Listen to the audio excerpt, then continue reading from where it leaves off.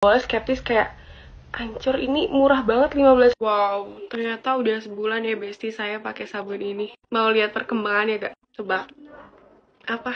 Tangan gue hampir lebih putih dari muka gue. Takut. BTW gara-gara ini viral banyak banget yang ngechatin gue. Nanya beneran bagus, harganya beneran segitu apa enggak. Pe guys, gue ngasih taunya. Ini tuh beneran bagus buat mencerahkan. Karena emang ada kojic acid 90% gitu di kandungannya.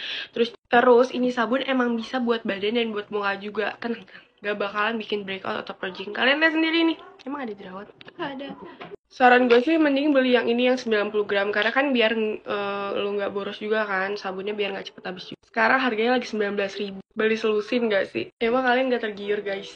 Check out di keranjang kuning